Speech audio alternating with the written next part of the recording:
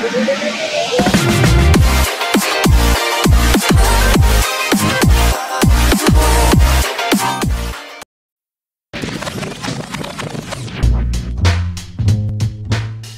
a beautiful place.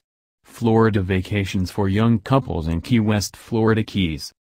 The final stop on the eastern seaboard's 2,369-mile Route 1, Key West really is the be-all and end-all. Geographically, Key West sits at the southernmost point within the continental U.S. and is closer to Havana than it is to Miami.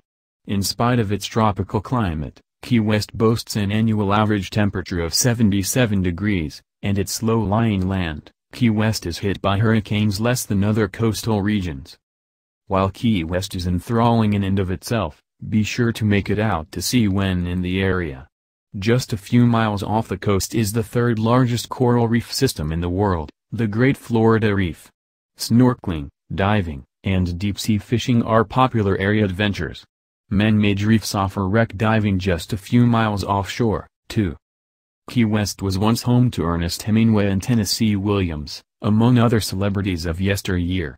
These days, its most famous residents come in a more natural variety, iguanas, feral chickens and roosters, and a clutter of cats, the latter of the excessive toe variety, nestled in Hemingway's former home. Yeah.